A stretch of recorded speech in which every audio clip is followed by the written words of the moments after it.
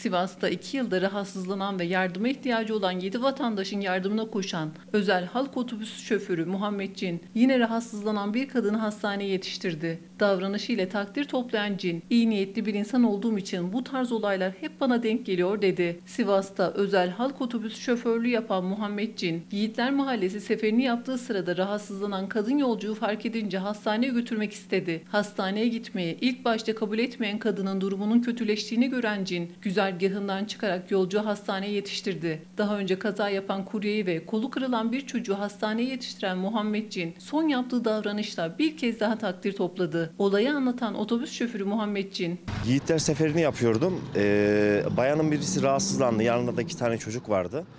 Ee, kendisine ambulans çağırayım mı diye sordum. Kendisi de bu teklifimi reddetti. Yoluna devam edeceğini söyledi. Ee, ben düzergahıma devam ederken de e, yolcum tekrardan rahatsızlandı. Aynadan kendisine baktım.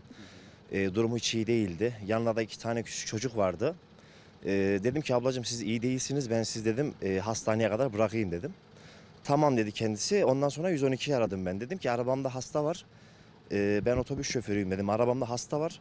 Yanında da iki tane küçük çocuk var. Kadın bu şekilde gelemez. Çocuklar da kaybolabilir.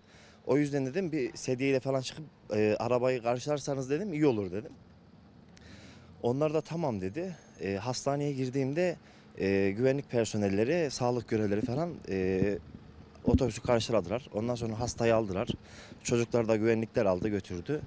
Demek ki hani e, iyi, iyi insan olduğumuz için bu iyilik konularda bize denk geliyor. İyilik yapmak güzel bir şeydir. Her seferinde söylediğim gibi. E, daha önce kolu kırılan bir çocuğu hastaneye götürmüştüm. Annesi çaresi kalmıştı. Yolda giderken e, kurye, motosikletli kurye kaza yapmıştı. Onu götürdüm. Yaşlı bir teyze yolunu kaybetmişti. Onu evine bıraktım. E, diğer günlerde de engelli bir ablamızla annesi e, yanlış otobüse binmişti. Ben babama gideceğim demişti. E, vicdanım el ver, vermedi. Onları da orada bırakamadım. Onları götürmüştüm. Şimdiki olayım da böyle oldu işte. Yani e, ben bu iyiliği her zaman elimden geldiği kadar yapmaya çalışırım. Beni kurtar. Ben durumda birinin evine götürdüm. Neyli? Hasta birinin evine götürdüm. Azallan. Öyle.